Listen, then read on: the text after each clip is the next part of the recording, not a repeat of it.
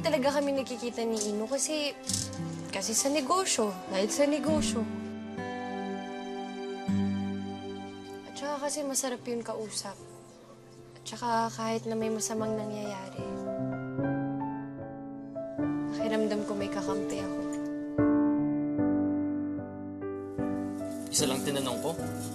Dami mo sinabi.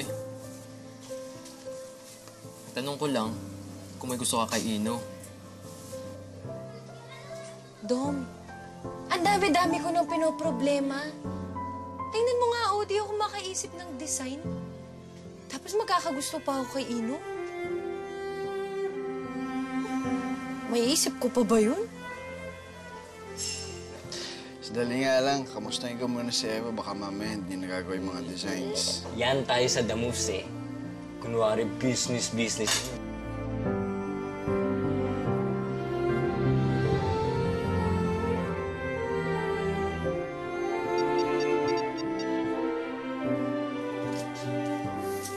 mong sabihin si Ino na naman yan. Oo nga. Magkaibigan nga kasi kami, di ba?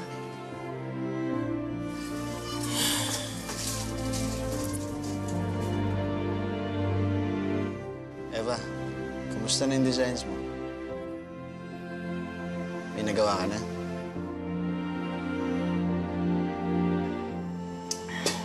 Hindi ka sinagot? Alam ko na hindi ka in love kay Eva. Kasi alam mong may iba na siya. What? Pare, ikaw na nagsabi.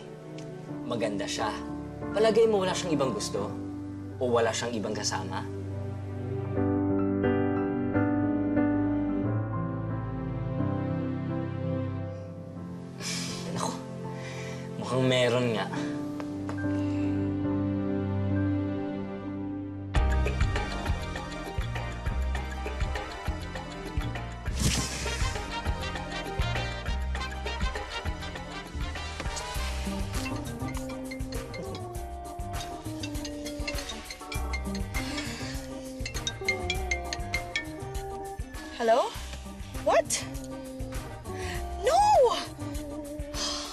Wrong? Biglang nag-back out last minute yung business partner ko sa bar na itatayo sana namin. Unbelievable. Then find another business partner. I wish it was as easy as it sounds. Pero 50 million ang pinag-uusapan dito. Supposedly, tag 50 million kami ng lokong yun. Now I have to look for an investor immediately. Come on, we can do that later. But for now, we need to relax. Come on. Ollie. No, no, no. Business first before pleasure, okay? Wait, I gotta go. Go, go, go, go, go! Okay, okay, okay. Hurry! Um, I'll, I'll see you soon. Okay, take care. Bye.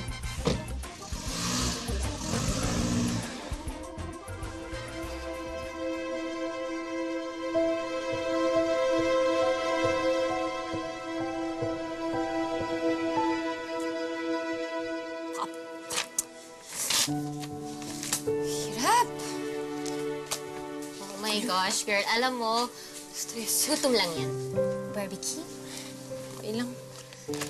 Kasi nang ginawa ko, ang papangit eh. Oh, walang maayos. Walang magugustuhan din si Ino. Sobra pa naman yung tiwala nun sa akin. Alam mo, feeling ko, nasusobrahan ka sa inspirasyon. Oh, lagi mo kasing iniisip yung si ano. Hindi ko iniisip si Ino. yung totoo, ha? Promise, Pexman. That na, ayun na. Hindi nga.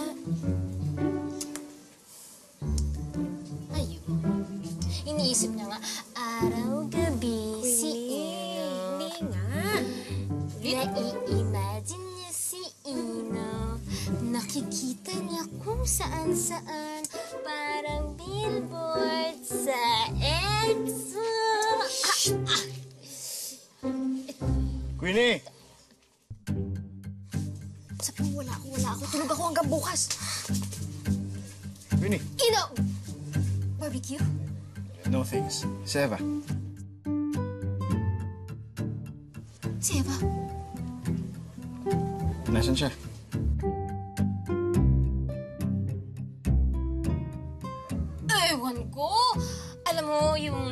Medyo sikat na kasi, so bisibisihan ako. Hindi ko na malayan, wala na pala siya, ganun. Ganun.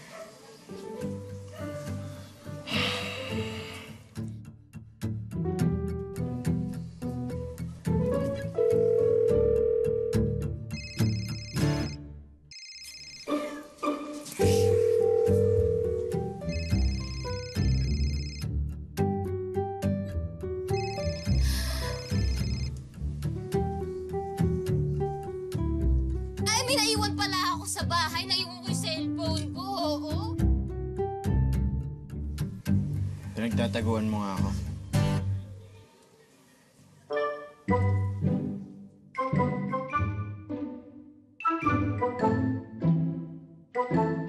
So bakit mo ako tinataguan? O, wala ako sa mood. Sige na, okay na. Sige na. Sketches mo. Pati niya. Eh, ano eh, nakatulog ako eh. At saka, kagabi masama. Pinagawa ka na ba o wala pa?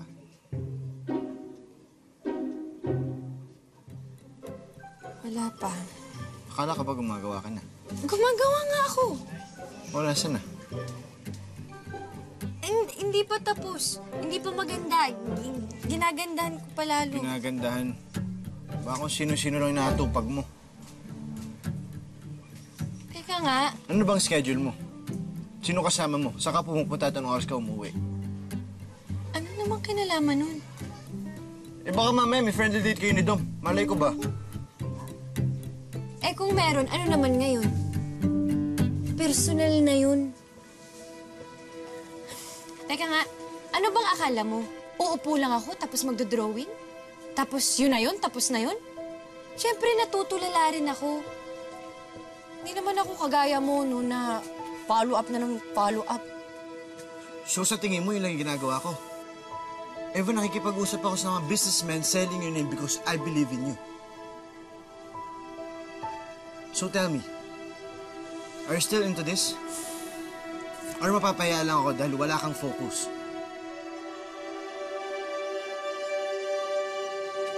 Sana nga focused ako. Kasi yun rin naman yung gusto ko eh. Kasi nakakaya naman sa'yo. Talagang nakakahiya. Na kung sino-sino at kung ano-ano inuuna mo. Ikaw na nga tong demanding, ikaw pa tong galit. Hoy, Ino! Bakit mo inaaway si Eva? Pwede bang huwag kang makialam? Ako lang naman ang pinakamalapit na lalaki sa buhay ni Eva. Bukod kay mga Bel, kaya may pakialam ako. Bakit? Boyfriend ka na ba niya? Kung umasta ka, parang boyfriend ka na. Hindi pa kami. Hindi niya pa ako boyfriend. Pero oo, maliligaw na ako sa kanya. Kaya huwag kang mainip. Dahil pag girlfriend ko na si Eva, ibanggitin mo lang pangalan niya. Hindi na pwede.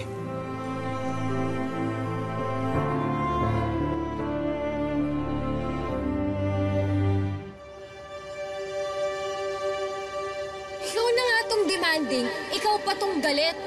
Ano bang akala mo? Uupo lang ako tapos magdodrawing? Dinadaan niya pa kasi sa galit eh. Pero ang gusto niya, gusto niya lang talaga magpapansin.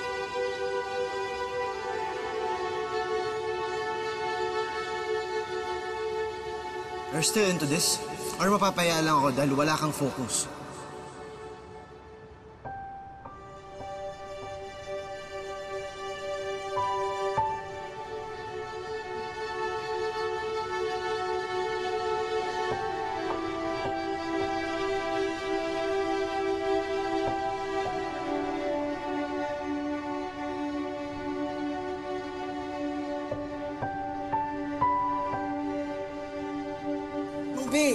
Yung kumparin yung yan, kinalakihan ng pagiging torpe.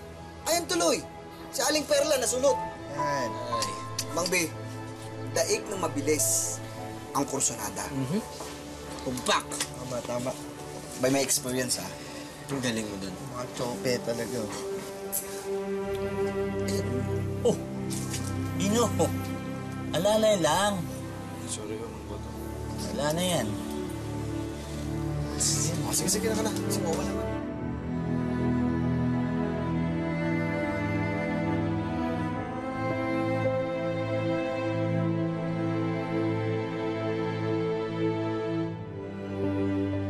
Gusto mo bang pumunta sa simbahan sa Narciso? Baka sakaling may maalala ka.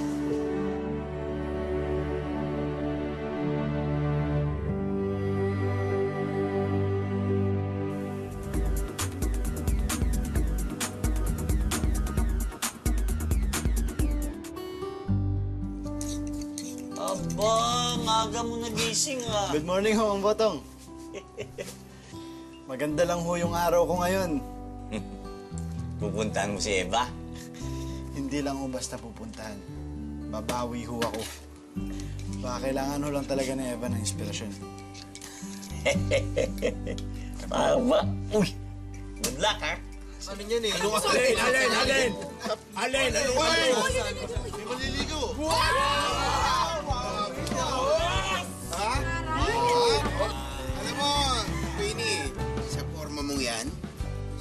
tsak mapapao mo si Eva. Papeo. So, wala na to. Liligawan mo na talaga si Eva. As in, finally, for real? Oh! Eh, ang tanong, mapapasagot mo kaya? Siyempre, bata ko yan eh. Iba style yan. Matyaga. Teka lang, teka lang. Bumabawi lang ako. Yan! Kain na tayo. Oo. Aga ng bulaklak na yan ah. Magsisimba ka ba? Ano to, alay? Ah, ano, sa- ano, ano, ano tong bulaklak na yan? Ah, Ibibigay ko kay Eva. Eh, para sa, ano, sa inspirasyon niya. Kasi sa, yung sa pagde-design, pagde-design niya ho. di-design. Para sa inspirasyon. Oo. okay na si Eva. Nakaalis na siya eh. Ah, saan mo siya nagpunta? Punta siya na San Narciso. Kukuha siya ng inspirasyon doon. Kasama si Dom.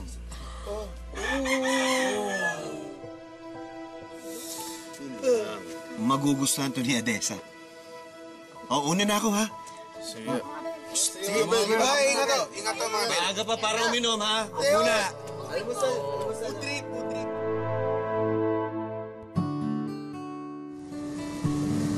Dom, salamat sa pagsama mo sa akin ah. Tsaka pasensya na rin kasi kinailangan mo pa mag-leave dun sa trabaho. Ayos lang yun. Tsaka, pinasamahan ka naman talaga sa akin ni Aling Rosa. Hindi rin ako mapapalagay kung kayaan kita mag-isa bumiyahe. Bata pa lang tayo, ikaw na yung bodyguard ko. Naman! Tsaka pakiramdam ko, okay na rin na lumayo ako sa gintong pag-asa mo na baka sakaling makahanap ako ng inspirasyon sa ibang lugar. Tingin ka lang sa tabi mo, may inspirasyon ka na. Wala naman. Ayan, kita mo na. O sige na nga.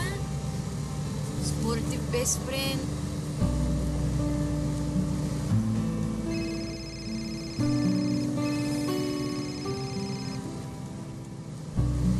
Sa akin yan. Storbo pa sa biyahe.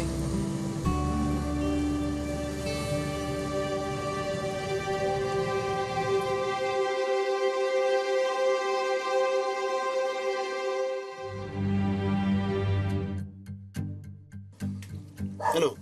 Di pa sumasagot? Kapatay pa rin yung telepono eh. Ay, pakutay. Ayan, ayan. Bawal na signal. Relax lang, relax lang, relax lang. Babalik din yan. Teka, teka. Di ba ilang araw din sila ni Dom doon? Oo, sabi ko na nga ba eh. Sa haba-haba man ng prosesyon, kay Dom pa rin ang tuloy ni Eva. Eh, chikiting pa lang yung mga yan. Naglalaro na yan. Naglalaro na kami ng kasal-kasal. Oo, tsaka baka ngayon, totohanin na yan. Oo, naalala ko nun. Di ba? Ni, ano kami? May na-photo, ninang naman. Ako hindi ako nino. Oh, oh, Penny, saan ka? Labas, sa ano? Ano? Labas, sa ano? Ito, alaman to, sado ka. Penny, saan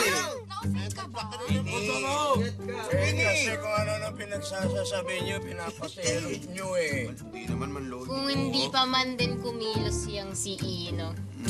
Lubata niyo talaga yan eh, no? Ano? Bata ako. Pinaparinggan mo ako? Tungkol kay Rosa? Diyos ba? Iba yun! Si Rosa. Hindi pa. Kalo. Kasi lahat, Naku po. Pwede bang amin na yung photo? Kasi tumawag sila nanay. Nanay mo lang ah.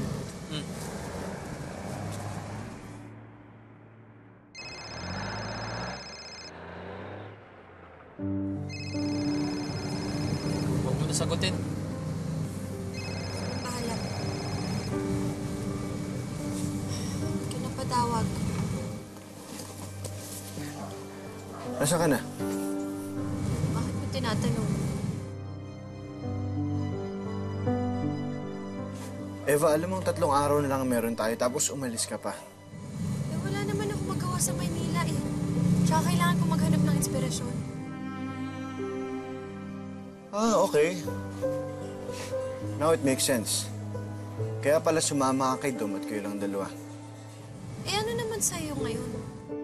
Eva, hindi ka nagpaalam sa akin. Bakit ko sasabihin? Eh...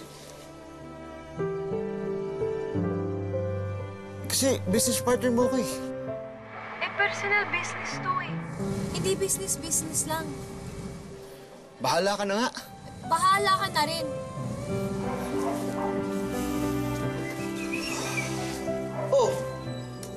Akala ko alis ka. Hindi na. Sumusobra na yung babaeng yan. Eh di umalis siya. Hindi ko siya pipigilan. Bahala siya sa buhay niya.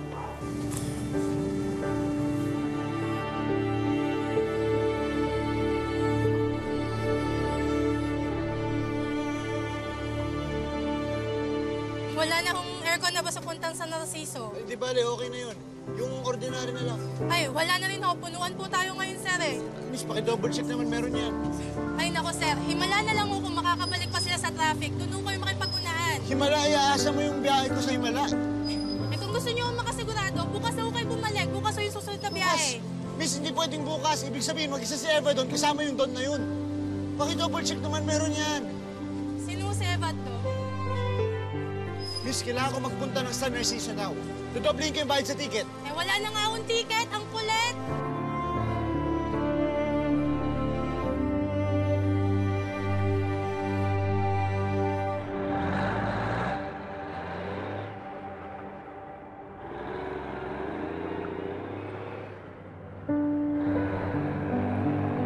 Hindi na to panaginip lang. Nandito na ako ulit. Sa Narciso. Sensya na pare, out of town ako eh. Pwede sana si Nico, kaso anniversary nila ng girlfriend niya, kaya imposible rin. Gano'n ba? Okay, si ano? Ah, si Carl, nako, eto, nabunggo niya ang sasakyan niya last week. At hanggang ngayon, pinapagawa niya pa rin. Sensya ka na ah. Swerte nyo, nagkaroon pa ng isang biyahe pa sa Narciso. Doon na kayo bong bayad ng ticket. Salamat, pare.